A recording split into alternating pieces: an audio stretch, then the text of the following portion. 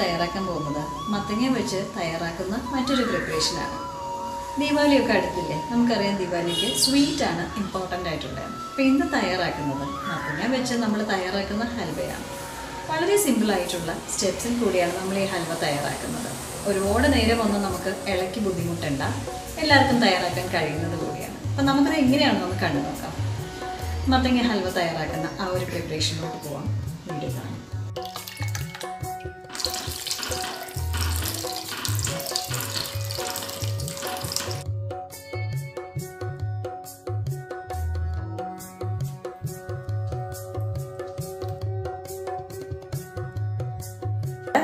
Pumpkin halwa തയ്യാറാക്കുന്നതിന് ഒരു പാനിലേക്ക് ഞാൻ ഒരു ടേബിൾ സ്പൂൺ ഗീ ചേർത്ത് കൊടുക്കുകയാണ്. പംകിന്റെ പ്യൂരി ചേർത്ത് കൊടുക്കുകയാണ്. പംകിൻ നല്ലപോലെ വേവിച്ച് മിക്സിയിൽ അടിച്ചെടുത്തതാണ്. അപ്പോൾ ഏകദേശം ഒരു രണ്ട് കപ്പ് രണ്ടേകാൽ കപ്പോളം പംകിൻ ഇതിലുണ്ട്. അപ്പോൾ നമ്മൾ ഇനി ഇത് ഒന്ന് കുറുകി വരുന്നത് വരെ ഒന്ന് നമുക്ക് ഇളക്കിയെടുക്കേണ്ടതാണ്. ഞാൻ ഒരു മുക്കാൽ കപ്പ് പഞ്ചസാര ചേർത്ത് കൊടുക്കുകയാണ്. അതും കൂടി ചേർത്ത് നമുക്ക് നല്ലപോലെ തന്നെ ഒന്ന് ഇളക്കിയെടുക്കാം. അപ്പം മധുരം കുറവായെന്ന് തോന്നിയുണ്ട് പിന്നെ ഞാൻ കുറച്ച് പഞ്ചസാരയും കൂടി ചേർത്തപ്പോൾ നമ്മളിതിൽ ഒരു കപ്പ് പഞ്ചസാര ചേർത്തിരിക്കും. അപ്പോൾ ഇച്ചിരി കുറുകി വന്ന് മത്തങ്ങയിൽ നല്ല മധുരമൊക്കെ പിടിച്ചു വന്നിട്ടുണ്ട്. അപ്പോൾ ഈ സമയം ഞാൻ ഇതിലേക്ക് നമ്മൾ മധുരം എപ്പോഴും മധുരത്തിന്റെ കൂടെ ഉപ്പ് ചേർക്കാറുണ്ട്. അപ്പോൾ ഒരു നുള്ളു ഉപ്പ് കൂടെ ചേർത്ത് കൊടുക്കുകയാണ്. അതും കൂടെ ചേർത്ത് നമുക്കൊന്ന് മിക്സ് ചെയ്യാം. ഇപ്പം ഏകദേശം ഒരു കാ മണിക്കൂർ കഴിഞ്ഞ് കാണും. അപ്പോൾ ഈ സമയം നമ്മളിതിലേക്ക് ഇതിനാവശ്യമായിട്ടുള്ള കോൺഫ്ലവർ മിക്സ് ചേർക്കാൻ പോവുകയാണ് കോൺഫ്ലവർ മിക്സ് നമ്മൾ അര കപ്പ് കോൺഫ്ലവറിൽ ഒരു കപ്പ് വെള്ളം ചേർത്തതാണ്. ഇത് വന്നിട്ട് നമ്മൾ ചേർക്കുന്ന സമയത്ത് നല്ലപോലെ ഒന്ന് മിക്സ് ചെയ്തിട്ട് മാത്രമേ ചേർത്ത് കൊടുക്കാവൂ.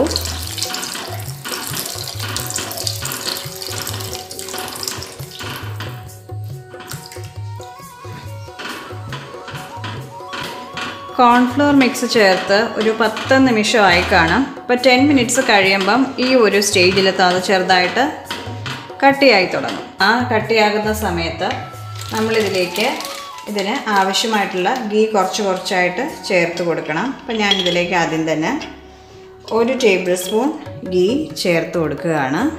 ഇതൊന്ന് നമുക്കൊന്ന് മിക്സ് ചെയ്യാം. ഇപ്പോൾ ഒരു ടെൻ മിനിറ്റ്സ് കൂടെ കഴിഞ്ഞു. നമ്മൾ ചേർത്ത ഗീ എല്ലാം ഇതിൽ നല്ലപോലെ തന്നെ പിടിച്ചു കഴിഞ്ഞു. ഇനി ഇതിലേക്ക് ഒരു അര ടീസ്പൂൺ ഗീ കൂടെ ചേർത്ത് കൊടുക്കുകയാണ്. ഒന്ന് മിക്സ് ചെയ്ത് കൊടുക്കാം നമുക്ക്. അലുവയൊക്കെ ചെയ്യുമ്പോൾ നമ്മൾ ഫ്ലെയിം നല്ല കുറച്ച് വെച്ച് കൈ വിടാതെ ഇളക്കിക്കൊണ്ടിരുന്നാൽ മാത്രമേ നമുക്ക് കറക്റ്റായിട്ട് കിട്ടത്തുള്ളൂ. ഞാനിതിലേക്ക് ഒരു ടേബിൾ സ്പൂൺ ഗീ കൂടെ ചേർക്കാൻ പോവുകയാണ്. ഇപ്പോൾ ഒരു ടെൻ മിനിറ്റ്സ് കൂടെ കഴിഞ്ഞു. അപ്പോൾ നല്ലപോലെ ഗീ എല്ലാം ഇതിൽ പിടിച്ചു കഴിഞ്ഞു. ഇനി ഞാൻ ഇതിലേക്ക് ഒരു ടേബിൾ സ്പൂൺ ഗീ കൂടെ ചേർക്കുകയാണ്. ഈ സമയം ഒരു മുക്കാൽ മണിക്കൂർ കഴിഞ്ഞു. പാനിൽ നിന്നൊക്കെ വിട്ട് വരുന്ന ഒരു സ്റ്റേജ് ആയി തുടങ്ങി.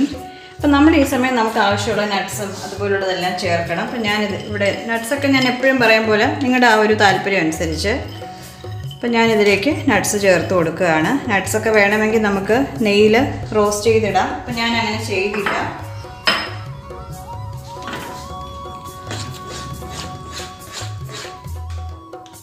അതിൽ കൂടെ തന്നെ നമ്മൾ ഈ സമയം ഏലക്കപ്പൊടി കൂടെ ചേർത്ത് കൊടുക്കുകയാണ്. ഒരു ടീസ്പൂൺ ഏലക്കപ്പൊടി ചേർത്ത് കൊടുക്കുകയാണ്.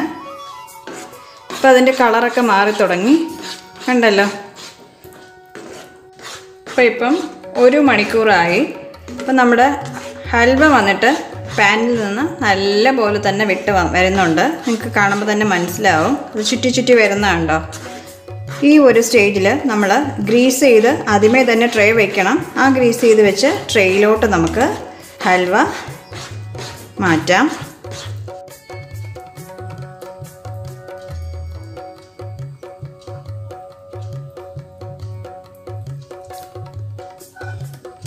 സ്പാച്ചിലയിലോ സ്പൂണിലോ എന്തെങ്കിലും നല്ലപോലെ നെയ്യ് അടി അടിയിലിങ്ങനെ സ്പ്രെഡ് ചെയ്തതിന് ശേഷം നമ്മളിതൊന്ന് ഷേപ്പ് ചെയ്ത് കൊടുക്കണം. തണുത്തതിന് ശേഷം നമുക്കിത് കട്ട് ചെയ്യാം.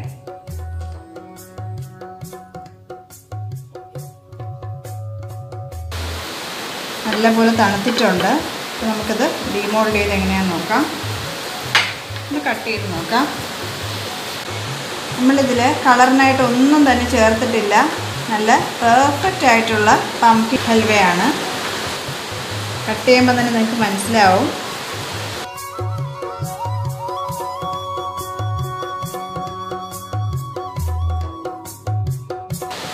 നട്ട്സ് ഇടുന്ന ഭാഗമാണ് അത് കട്ട് ചെയ്യുമ്പം ഒരിതായിട്ട് പോകുന്നത്.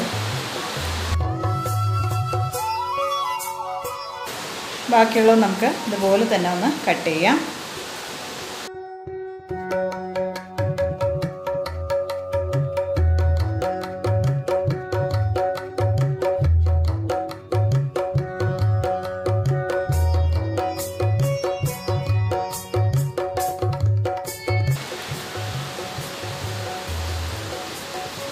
നല്ല സോഫ്റ്റ് ആയിട്ടുണ്ട്.